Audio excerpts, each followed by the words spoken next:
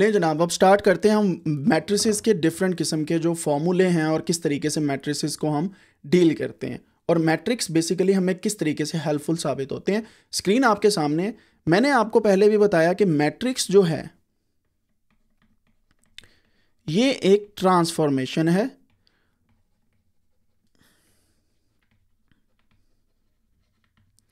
और ट्रांसफॉर्मेशन होती है a way to move in space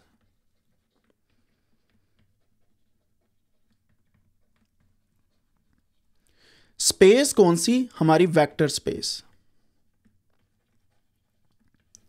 सही है? अब जो मैंने ट्रांसफॉर्मेशन की बात की, मैंने आपको टू डायमेंशनल बताई कि आपके पास अगर इस तरीके से दो वेक्टर्स हों तो किस तरीके से उन्हें आप ट्रांसफॉर्म कर सकते हैं और ट्रांसफॉर्मेशंस होती क्या लेकिन अगर आपकी लीनियर इंडिपेंडेंस है ना तो इसके ऊपर ट्रांसफॉर्मेशन का कोई इतना ख़ास फ़र्क नहीं पड़ेगा। रीज़न क्या है कि आपका आई एंड जे वैक्टर हमेशा आपको लीनियर डिपेंडेंस जो है वो देगा। सो so, इस बात का आपने ख्याल रखना है कि whenever you are doing some transformation you have to do it in real coordinate space of two dimensional plane ठीक है? लीनियर इंडिपेंडेंस को देखते हुए यानी कि लीनियरली डिपेंड नहीं होने चाहिए।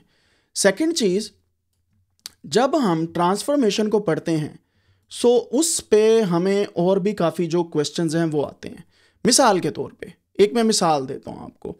मिसाल ये है कि मैंने आपको दो किस्म की ट्रांसफॉर्मेशंस पढ़ाई। दो किस्म की ट्रांसफॉर्मेशन में पहली ट्रांसफॉर्मेशन थी आपकी 90 डिग्री रोटेशन की। Sorry not C rotation clockwise यानी कि जब मैं पॉजिटिव लिख रहा हूँ तो ये बेसिकली 90 डिग्री रोटेशन है, ठीक है? और दूसरी ट्रांसफॉर्मेशन थी आपके पास शीयर शेयर ट्रांसफॉर्मेशन अब क्वेश्चन ये है कि मेरे पास एक वेक्टर मौजूद है जिसकी वैल्यू है थ्री एंड फोर मैं चाहता हूँ कि पहले इस पे शेयर ट्रांसफॉर्मेशन अप्लाई हो और फिर इसके ऊपर आपके पास जो 90 डिग्री रोटेशन वाली ट्रांसफॉर्मेशन है वो अप्लाई हो। यानी कि 90 डिग्री रोटेशन वाली। ठीक है? सो हमारे पास बेसिकली दो ट्रांसफॉर्मेशन होगी। एक पहली ये और दूसरी ये ठीक है? अब एक तरीका कार तो ये है कि हम बारी बारी इन दोनों को अप्लाई कर दें। यानी कि पहले हम इस पर कर दें शेयर वाली अप्लाई और दूसरी फिर 90 रोटेशन वाली कर दें। सो so, मिसाल के तौर पे हम करना क्या चाह रहे हैं? हम ये चाह रहे हैं कि हमारे पास एक वेक्टर है थ्री बाई फोर का which shows something like this इसको हम रोटेट करके 90 डिग्री रोटेट करके हम इसको शेयर में लेके जाना चाहते हैं, यानी कि इस तरीके से जो हमारे पास शेयर ट्रांसफॉर्मेशन थी। तो हम, हमारे पास जब भी दो ट्रांसफॉर्मेशन आती हैं तो हम इसको कहते हैं कंपोजिशन ऑफ़ ट्रांसफॉर्मेशन या कंपोजिशन ऑफ़ टू ट्रांसफॉर्मेशंस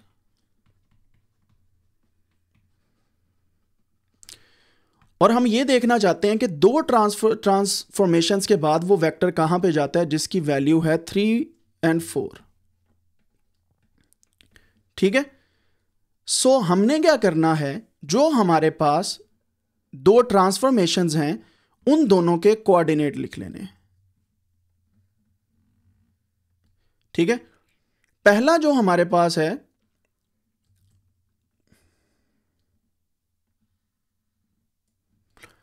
अगर हम शेयर ट्रांसफॉर्म देखें तो वो इस तरीके से आई और जे हमारे पास आता है।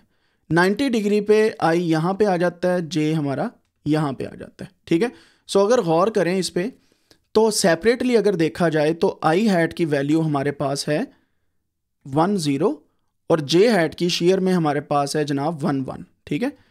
इसी तरीके से हमारे पास, अगर यहाँ पे देखी जाए, आई हैट की वैल्यू हमारे पास है ज़ीरो माइनस वन और जे हैट की हमारे पास वन ज़ीरो।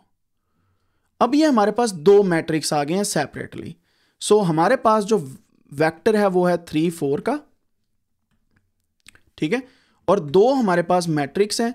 एक हमारे पास एम वन यानी कि मैट्रिक्स वन है जिसकी वैल्यू है वन ज़ीरो वन वन जो है शेयर ट्रांसफॉर्मेशन फिर हमारे पास दूसरा वेक्टर है विच इज़ 90 डिग्री रोटेशन इसको बोलते हैं एम टू और इसकी वैल्यू है zero minus one and one zero अब हम क्या करते हैं? या तो बारी बारी दोनों इस पे लगा दें, वो भी यही सीन है। लेकिन हमारे पास एक और सीन होता है, वो क्या है कि हम मैट्रिक्स को मल्टीप्लाई कर दें। यानी कि इन दोनों मैट्रिक्स को हम मल्टीप्लाई करें। ठीक है? हम मैट्रिक्स को मल्टीप्लाई करें।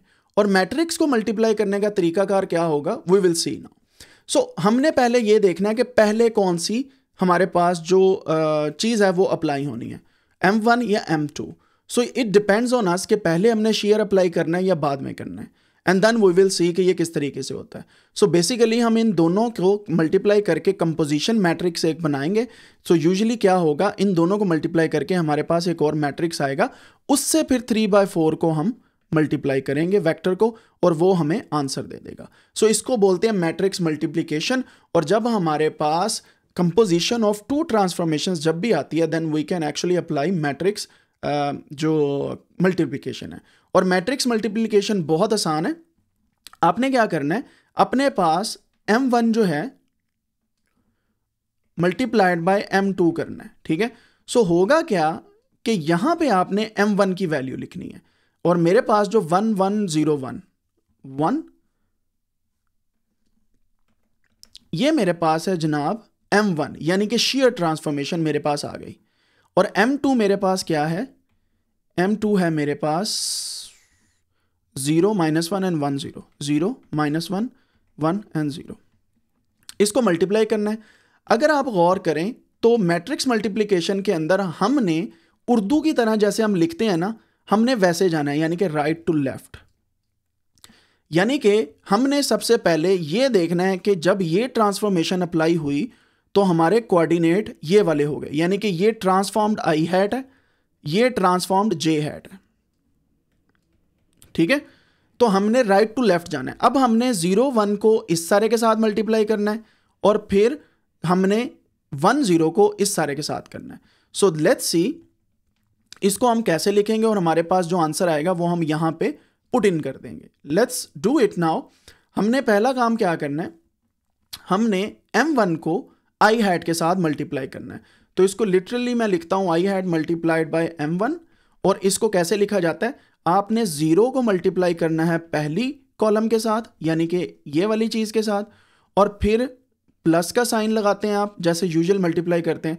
माइनस वन को फिर आपने करना है वन वन के साथ।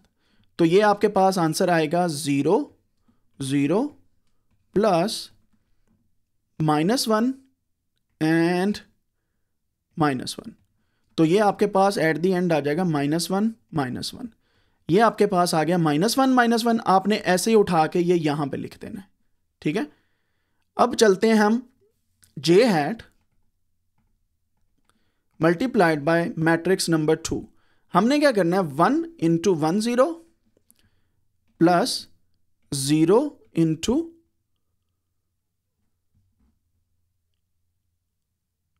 one one. ये हमारे पास आएगा जनाब वन एंड ज़ीरो जो हम कल से मल्टीप्लिकेशन कर रहे हैं, वही चीज़ है। वेक्टर मैट्रिक्स मल्टीप्लिकेशन जैसे हमने की थी, ये बेसिकली वेक्टर वेक्टर मल्टीप्लिकेशन की थी, ये वही चीज़ चल रही है। और यहाँ पे हम करेंगे ज़ीरो ज़ीरो सो ये हमारे पास आएगा one plus zero one and zero so ये हमारे पास आता है वन एंड ज़ीरो इसका मतलब ये हुआ कि कंपोजिशन ट्रांसफॉर्मेशन ये जो हमारे पास आई है ग्रीन कलर के अंदर if we write this transformation this is a composition of shear plus 90 degree rotation सी में लिख देता हूँ sorry shear plus 90 degree rotation ये वाली हमारे पास कंपोजिशन है राइट right? तो हम इन, इसको जब एक को ही अप्लाई करेंगे ना तो वो वेक्टर ऑटोमेटिकली वहाँ पे अप्लाई हो जाएगा। अब हम इस कंपोजिशन को जो है अप्लाई करके रियल लाइफ में देखते हैं कि वेक्टर के साथ क्या होता है। फॉर एग्ज़ाम्पल मैं यहाँ पे ये वाली चीज़ ड्रॉ करता हूँ। हमारे पास जो वेक्टर है that is three by four three by four तो मैंने तीन इस साइड पे जाने हैं और चार ऊपर। ये हमारे पास वेक्टर है। अब इस पे जब 90 डिग्री रोटेशन अप्लाई होती है और शेयर अप्लाई होता है तो इसका ये हाल होता है minus one minus one one and zero तो मैं उसको पहले रिजॉल्व करता हूँ, फिर हम देखते हैं कि three by four multiplied by minus one minus one one and zero इसको अगर हम देखें तो हम किस तरीके से रिजॉल्व कर पाएँगे? Three into minus one minus one और plus four into one zero. तो एट द एंड हमारे पास आता है minus three minus three plus four and zero तो ये हमारे पास आएगा माइनस थ्री प्लस फोर ये आता है one and minus three plus zero minus three तो ये हमारे पास आती है जनाब वन माइनस थ्री ट्रांसफॉर्म होने के बाद। ट्रांसफॉर्म होने के बाद यही चीज़ हमारे पास वन माइनस थ्री हो जाएगी। लेट्स डू इट कि ट्रांसफॉर्मेशन के बाद ये कैसी दिखती है? One and minus three. इसका मतलब है वन हमने ऐसे जाना है और माइनस थ्री नीचे को तो ये यहाँ पे आ जाएगी। तो हमने 90 डिग्री रोटेट किया। 90 डिग्री रोटेट का मतलब है कि ये यहाँ पे आ जाएगी। और फिर बाद में अगर इसका ओरिजिनल कोऑर्डिनेट देखे जाते तो यहाँ से ये शेयर की है, इस साइड पे। सही है? सो so बेसिकली वो सुकड़ के एक में आ गई है। सो एक्चुअली इज़ डूएबल और शेयर होने के बाद ये हमारे पास कुछ इस तरीका से रोटेट होके वन पे आ है। सो so, हमारे पास जो कोऑर्डिनेट बनते हैं वन माइनस थ्री के दिस इज़ शोइंग कि आपकी shear and ninety degree rotation apply हो गई है। ठीक है? सो इस तरीके से मैट्रिक्स को मल्टीप्लाई किया जाता है और आप किसी भी किस्म की दो ट्रांसफॉर्मेशन जो हैं वो लगा सकते हैं। और ये दो ट्रांसफॉर्मेशन बहुत ज़रूरी होती हैं समझना। And now the question come question comes दो मेरे क्वेश्चन हैं आपसे और हम देखते हैं कि क्या वो क्वेश्चन आप आंसर कर पाते हैं कि नहीं। लेट्स सी पहला क्वेश्चन है, जब हम m1 को m2 के साथ मल्टीप्लाई करते हैं, क्या ये बराबर है m2 को जब हम m1 के साथ मल्टीप्लाई करेंगे? इज़ इट ट्रू और फॉल्स क्वेश्चन वन है ये। हाँ जी, इसका आंसर दीजिएगा इज़ इट ट्रू और फॉल्स ठीक है? क्योंकि मैंने आपको बताया कि डायरेक्शन मैटर करती है। इज़ इट ट्रू और फॉल्स ये आपने देखना है। क्वेश्चन वन फिर आता है question two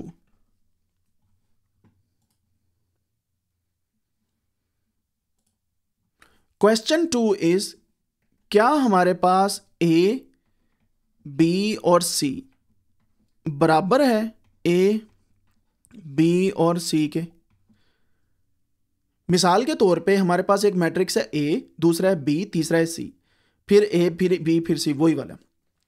तो अगर हम बी सी को पहले मल्टीप्लाई कर दें, और फिर बाद में सी ए के साथ करें, या ए बी को पहले कर दें, फिर सी के साथ करें, क्या ये ट्रू है या फॉल्स है? ट्रू और फॉल्स ट्रू और फॉल्स क्या है इनमें से?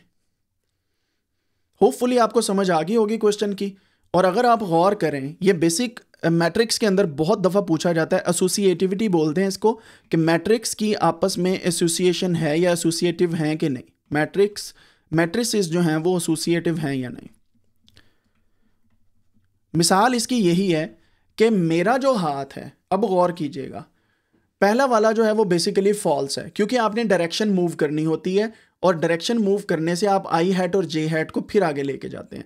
और अगर आप इसको वैसे भी ग्राफिकली भी देखेंगे तो पहले वाला फॉल्स है। M one M two is not equal to M two M one actually ठीक है? तो ये बराबर नहीं हो सकते। ऑर्डर बहुत मैटर करता है, जब आप मैट्रिक्स को मल्टीप्लाई कर रहे होते हैं। दूसरे में हमारे पास, ये हमारे पास क्या है? ये बिल्कुल फॉल्स है। ये वाला फॉल्स दूसरा हमारे पास है ऑर्डर सेम है ए बी और सी ए बी और सी अगर ऑर्डर सेम है तो एसोसिएटिविटी होगी कि नहीं होगी? बिल्कुल ये हमारे पास ट्रू है। रीज़न क्या है, मैं अभी आपको बताता हूँ। गौर कीजिएगा। हमारे पास टू डी प्लेन है। मैं अगर अपना हाथ तेज़ी से यहाँ पे ले जाता हूँ और फिर यहाँ पे ले जाता हूँ तो ये मेरे पास दो रोटेशन होगी, ठीक है? और उसके बाद मैं सीधा कर लेता हूँ। तीन मैंने मैट्रिक्स की ट्रांसफॉर्मेशन अप्लाई की। पहला मैंने रोटेट किया पहले फिर दूसरा फिर मैंने हाथ सीधा कर लिया। ये ठीक है या मैं पहले हाथ सीधा करूँ फिर नीचे आके रोटेट करूँ ये ठीक है। सो so बेसिकली आपको भी पता है कि जब M1 एंड M2 की बात की जाए तो जब मैं पहले रोटेट करूँगा फिर रोटेट करूँगा फिर जब मैं हाथ सीधा करूँगा मेरे हाथ की डायरेक्शन डिफरेंट होगी। मतलब सही तरीके से वो उसी एंगल पे नहीं आएगा। लेकिन जब मैं पहले हाथ सीधा कर लूँगा फिर मेरे से रोटेट नहीं होगा ज़्यादा ठीक है? सो so, इस वजह से जो ट्रांसफॉर्मेशन की ऑर्डर है, वो मैटर करता है। अब दूसरी बात करते हैं। अगर मैं बी सी को आपस में मल्टीप्लाई कर लूँ तेज तेज और ए को स्लो करूँ, या मैं ए बी को तेज तेज मल्टीप्लाई करूँ और सी को स्लो करूँ इट डजेंट मैटर ठीक है? सो यूजली ट्रांसफॉर्मेशन में एसोसिएशन होती है। कहने का मकसद ये है कि ये वाली जो हमारे पास क्वांटिटी है this is true and this is false order matter करता है ऑर्डर क्यों मैटर करता है? क्योंकि हमने मैट्रिक्स की मल्टीप्लिकेशन जो है वो बेसिकली आई ऑन जे की बेस पे लेके चलनी होती है। अब आप खुद अंदाज़ा लगाएँ कि इसकी एप्लीकेशन कितनी बड़ी बड़ी हो सकती हैं। इसकी मिसाल मैं आपको फिर से दे देता हूँ कि अगर कोई बंदा भाग रहा है, ठीक है? भाग के वो रुक सकता है और रुक के सारी बात है, उसकी जो ट्रांसफॉर्मेशन है वो डिफरेंट हो जाएगी। जहाँ से भागता भागता आया, जब वो रुकेगा तो उसकी ट्रांसफॉर्मेशन डिफरेंट होगी। यानी कि उसको अच्छा खासा सांस चढ़ा होगा। वही चीज़ अगर आप रुक के भाग रहे हैं तो आपको सांस नहीं चढ़ा होगा। मिसाल के तौर पे जब आप भागना स्टार्ट करते हैं तो आपकी ट्रांसफॉर्मेशन रुकने से भागने की तरफ़ है। तो उसमें ज़मीन आसमान का फ़र्क है, ठीक है? अब अगर वही ट्रांसफॉर्मेशन भागने से रुकने की तरफ़ हो तो उसका भी बहुत फ़र्क होगा। रीज़न क्या है कि भाग के बाद जब बंदा रुकता है तो पसीना आया होता है और सांस चढ़ा होता है। दूसरी साइड पे जब बंदा भागने लगता है तब आपकी ट्रांसफॉर्मेशन डिफरेंट होती है। इसका मतलब ऑर्डर बड़ा मैटर करता है मैट्रिक्स के अंदर। और मैट्रिक्स क्या है? Basically transformation of anything two dimension space हो या थ्री में हो। और यहाँ पे आपके पास एसोसिएटिविटी होती है। यानी कि अगर आप इन दोनों को पहले मल्टीप्लाई कर लें, फिर ए को करें डजेंट मैटर और यहाँ पे अगर ए बी को कर लें, फिर सी के साथ करें डजेंट मैटर ऑर्डर सेम रहना चाहिए। होपफुली अब आपको समझ आ गई होगी। आप ये वाला जो सीक्वेंस है, अगर किसी को लगता है ये ट्रू है तो इन दोनों को ज़रा मल्टीप्लाई करके देखिएगा। मैं आपको दो वैक्टर दे देता हूँ। M one is equal to one two three four और M two is equal to five six seven and eight आप इन दोनों को चेक करें कि क्या M one multiplied by M two equal है M two multiplied by M one के। तो फिर आप मुझे बताइएगा इसका आंसर क्या आता है। होपफुली आपको मैट्रिक्स की मल्टीप्लिकेशन यहाँ पे समझ आ गई होगी और मैट्रिक्स को आहिस्ता आहिस्ता हम सीखते जा रहे हैं और मैट्रिक्स में बहुत ज़्यादा चीज़ें हैं जो हमने आहिस्ता आहिस्ता और भी देखनी है। एंड आपसे रिक्वेस्ट यही है कि अगर आपने अभी तक लाइक नहीं किया है स्ट्रीम को और इस वीडियो को प्लीज़ डू इट और अगर आपने सब्सक्राइब नहीं किया तो कर लें। सेकेंडली आपको भी पता है कि ये लीनियर अलजबरा बहुत मुश्किल से समझ आने वाली चीज़ है, लेकिन अगर आप हमारे साथ चल रहे हैं तो it would be easier for you to understand